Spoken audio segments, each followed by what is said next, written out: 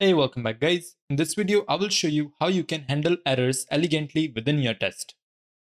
Before we see how we can do that, let's talk about why we need to handle errors in the first place. Usually if there's an error within your test, you would want the test to fail, and that is true for the 95% of the scenarios. But you will run into certain scenarios where you will encounter an error and you would want to handle that error differently. So instead of just throwing the error and failing the test, you would want to do something else instead. So for example, if you're trying to find an element and if that element is not there, you want to do something else instead there. You might probably want to verify some text, you might probably want to go in and retry the entire scenario, depending on whatever your use case is. Or let's say if you're trying to click on a button, and if that button is not clickable for whatever reason, you would instead want to just refresh the page and try something else instead. And these are all unique scenarios, but based on your application, you might run into them once in a while, specifically if you're working on a really dynamic application. Let's take a look at one of the scenarios that we will be covering in this video. So I'm here on the Practice Automation Bro website, and on that I've opened up the shop page. Now within the shop page, we have the search product field over here. So if I click on that, and if I type in up any product, so for example, from here, if I type in toys, I'm gonna enter toys here, and I will click on the search button, what this will do is it will open up this page, which is the toys page, and it will give me all this information related to that product. So this is one of the use case, and this is what we're going to be testing.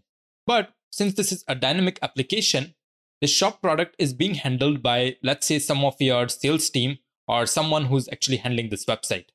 Now, based on the product quantity, the particular item might be in the actual shop list or it might not be in the shop list. For example, if all your toys have been sold out, they might take out the toys entirely from here. So when you will be actually searching for that, instead, it will just tell you that the product is not available in this particular website at the moment.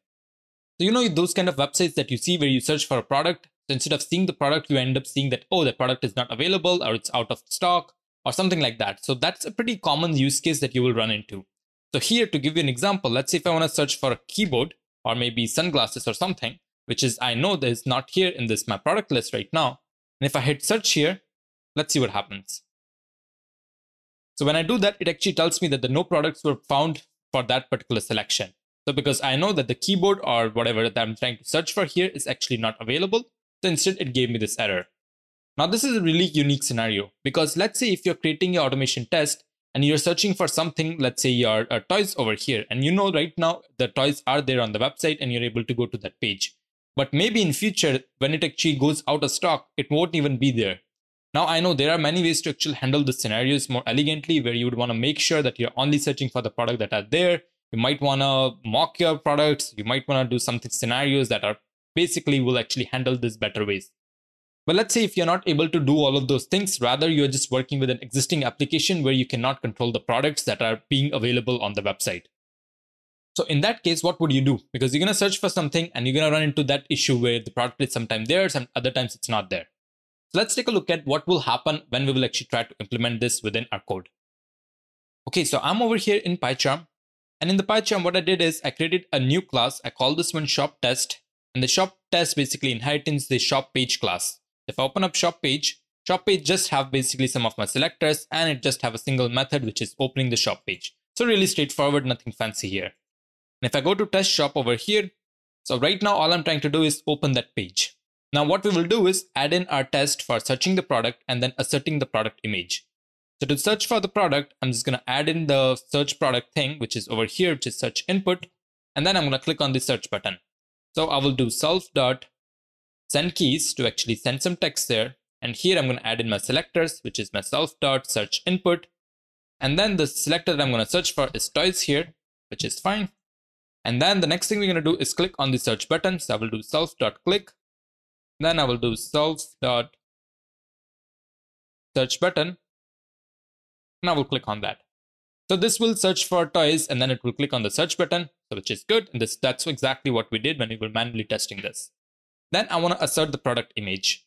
So this is the image that comes up when the new website or the new page that opens up. And on that new page, you can see the actual toys image over there, or basically the product image. So if I'm going to come here, you can see that we have this product image. So I'm just going to verify that. So I will do self dot assert element. So I just want to make sure that the element is there and that's my image element. And here I'm simply going to search for the actual um, product image. So that is my product image. And I've just added that here. So let's run this scenario to see if this would work for us. So I'm just going to do pytest dash k and then search for test underscore search.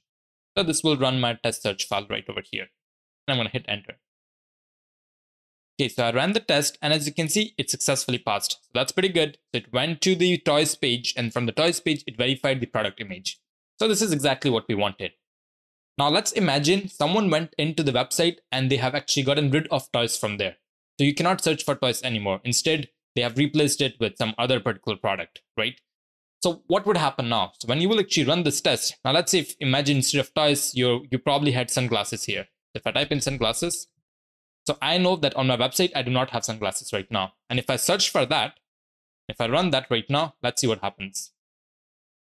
Okay, so it's searching for sunglasses here. And then you see this no products were found matching your selection because we don't really have that product in our website.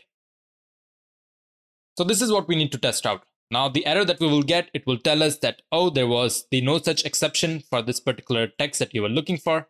So which was my product image. I was looking for that and it's saying that, oh, that element is actually not there. And that is expected because that product is not there, hence that element is not there as well. So what would you do if you're dealing with this dynamic behavior? Now, like I mentioned, an ideal way of handling this is making sure that the product you're searching for is always there on your website. But let's say if you cannot control that, Instead, you would want to make sure that, hey, okay, if the product is not there, what I would rather want to do is assert for the text, which is basically it's telling me that the no products are available on the website. So I don't want to assert for my actual product image. Instead, I want to assert that the um, products that are there on the website are not available. So the text that we were seeing, which was no products were found matching selection, we would rather want to assert on that instead. But what's happening is while we're actually trying to do that, right over here, we just get the no such element exception. So how can we handle that scenario that if we get this exception, we would want to do something else instead? So I know this sounds complicated, but this is actually pretty straightforward to implement. So we're going to add in a basic try catch and we will handle this exception and we will say, okay, if you run into this particular exception, at this point, what I would want you to do is instead assert for a text. And this is the text that I'm going to be providing you. So that's the scenario that we're going to implement instead over here. So let's take a look at how we can do it. So we are already asserting for that element. And now what I will do is add in a try catch here. So I'm going to say, okay, you try to search for that product image. If you get that product image, everything is good, right? But if you cannot get that product image and if you run into an exception, and the exception that it's running into, as you can see here, that is no such element exception. So I'm just going to copy that here. And I'm going to say, okay, if you're running into the no such element exception, at that point, what I want you to do is basically assert the text. So here I will say self.assert text and then I'm going to say, okay, what text it needs to assert. So I will just paste that here. I already copied before. So this is the text, which is no products were found matching a selection. And then I'm going to add in my actual selector. So my selector, I have already added that before as well, which is no products text. If I hover over to this, you can see that it's actually telling me that there's an unresolved reference for no such element exception. And the reason for that is because my test does not really know about this no such element exception. So I'm getting that error when I'm actually running the test, but my test exactly doesn't really know that there is such kind of exception. So to let my test know that, okay, you need to be aware of this exception is I can do that by importing that exception from the Selenium library. So let's do that. So I'm going to do from selenium.common.exceptions import and if I do control space, I can see all the exceptions that I can import. So right now we're only focusing on the no such element exception. But let's say if you're working on a click or if you're working on some interactable, which is for the input fields or for the button, you can do all of that over here as well. If you're maybe verifying for something is visible on the screen or not, you might be dealing with some kind of opacity where it's reducing or increasing. You can work with element not visible exception and you can handle that particular use case as well. In my case, I am only working with the no such element exception, so I'm just going to import that. The moment I do that, my error just goes away. So that's pretty good. So let's see what we're doing. So we're trying to make sure that whether our product image is there. It's going to search for that. It says, hey, is the product image there? If it's not there, it will throw me an exception. And the exception it will throw is no such element exception.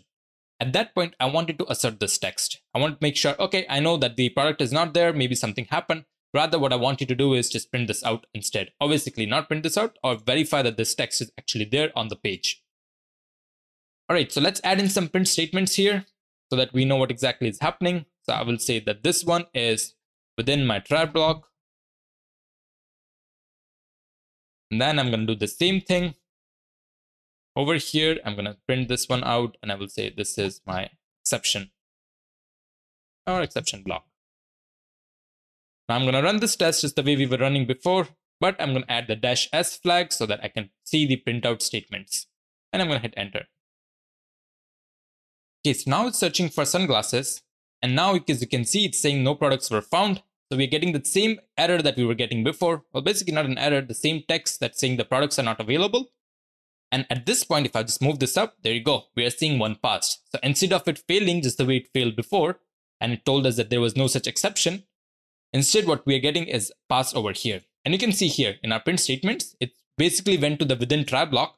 So it tried to assert for that element it couldn't find that after 6 seconds, which was the timeout that we had. It went to the exception block. And then in the exception block, it took a look at that what exactly it's doing. So it's checking that, okay, it's trying to assert for that text and it found that text for that particular selector. So basically it says, okay, everything looks good. My catch um, exception that we have over there, it's everything is working fine there. So it ended up passing our test. So this thing is really powerful guys, because now you're able to handle exceptions as well. So maybe if there are some particular use case where you're trying to do and you're running into some kind of exception because of dynamic behavior, now you can control it this way. You can add in your try catch block or your try except block, and there you can um, basically catch your errors based on whatever error you're running into.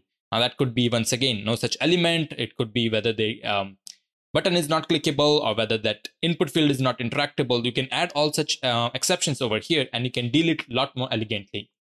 So just to make sure our previous use case is still working, if I search for toys over here, and then just run the test quickly to make sure that this is still working fine. At this point, we should not see the exception block. Instead, we should just see the within try block, and then it should just uh, stop over there.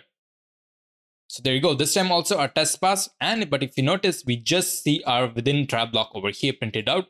We didn't see the exception block because what happens is when it goes to the try block, it knows that there was no error thrown out. Everything looks good. So it just stops the test right here without even entering our except block. And that is exactly what we wanted. Alright, so I hope this helped you out guys. And if there are some unique scenarios that you're running into and if where you need to handle such kind of errors, I hope using this method you will be able to handle that now. That's it for this video guys. If you enjoyed this video, remember to smash that like button and subscribe to my channel if you want to see more content like this. And don't forget to hit that bell icon. Also leave a comment below if you have any questions related to this video or if there's some other topic you would like me to create content on as well. That's all for now guys. I will see you all in the next one.